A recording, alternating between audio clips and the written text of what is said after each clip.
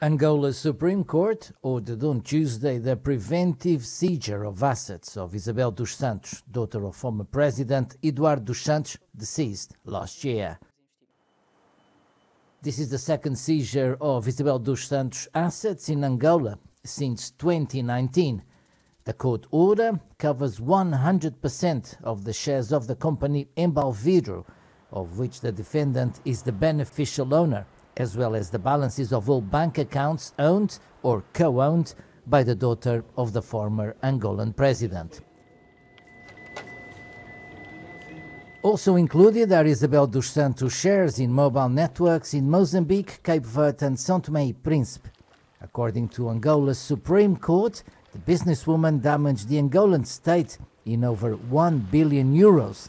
In other criminal cases, with evidence of embezzlement, influence peddling, economic participation in companies, and money laundering.